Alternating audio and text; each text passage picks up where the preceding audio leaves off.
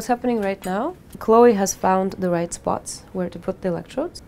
So we're going to put two electrodes on the occipital part of the brain, so the back of the head. Then we're going to have a couple of electrodes on the central part and a couple of electrodes on prefrontal areas. These two electrodes are basically measuring her frowning muscle. So if she has a nightmare, maybe she frowns, we'll see some activity. Perfect. Next step, we're going to connect her to the computer. Follow me. the electrodes, they capture an average activity of hundreds of thousands of neurons. And the way we today conceptualize sleep stages is by the predominant frequency of neurons firing. Now you can go to bed. Okay. Uh, however, we'll be waking you up a few times for dream collection at sleep onset. Sweet dreams!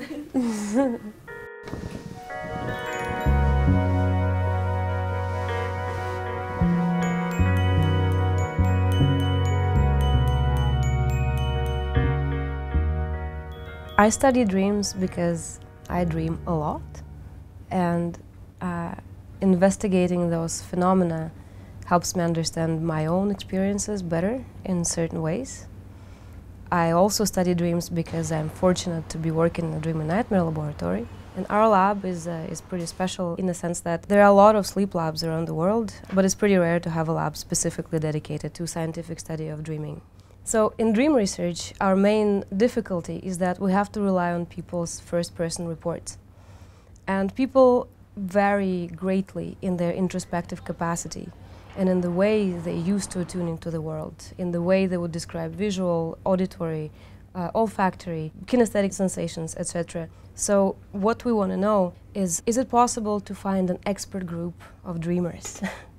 Vipassana meditation is a kind of meditation where people typically start with just mindfulness of their breathing and attending to attuning to their sensations without judging, and then slowly progress to scanning their whole body. We're hoping that Vipassana meditators, because they're used to paying attention to those things, will actually describe better the kind of bodily changes that they will undergo during sleep and in dreaming. These are sleep um, K complexes and sleep spindles and she's having more and more slow waves. So she's actually falling deeper asleep. Dreaming can be so intense and so vivid that it will uh, affect how you live your life. Some people have nightmares that make their waking life miserable, and the, the affect is carried over.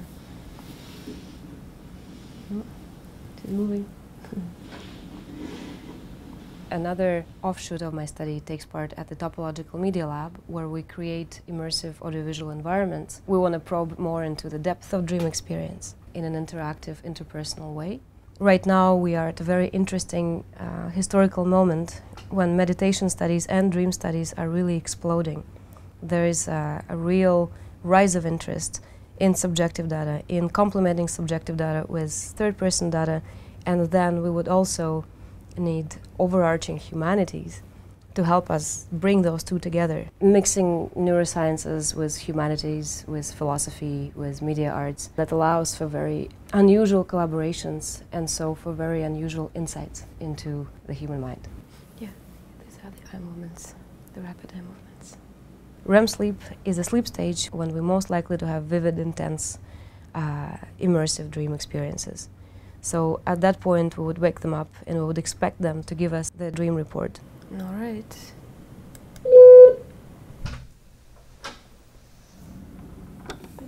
Hey, Michelle. Would you tell us your dream? Okay, uh, at the beginning of the dream, I was in bed here and I was trying to fall asleep, and a little gray cat came in onto the bed but actually it was Lisa.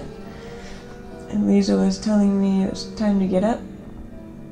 And then I I walked out into the into the the lab room actually. Following Lisa the cat.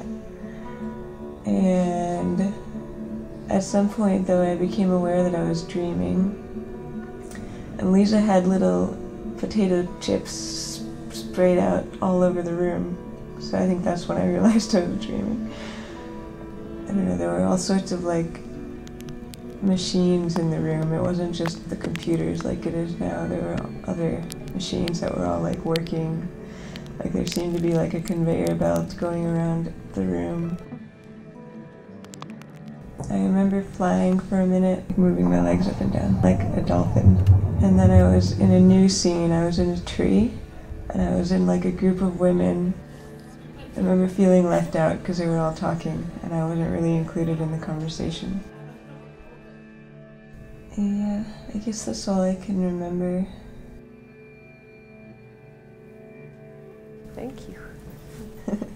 That's it? That's super. Okay. Yeah, this is really a pilot uh, study. This is the first time we've ever done anything like that. Uh, so uh, our future studies will be informed by our successes and our mistakes. We'll see what the future holds, but I would really like to keep exploring the mind from all those different perspectives.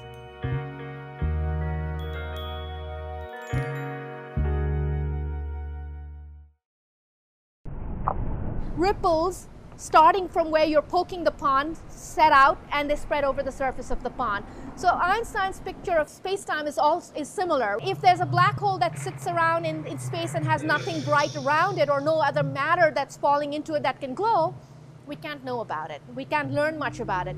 Whereas if we could study the gravitational waves from that black hole, we could reconstruct almost everything about it.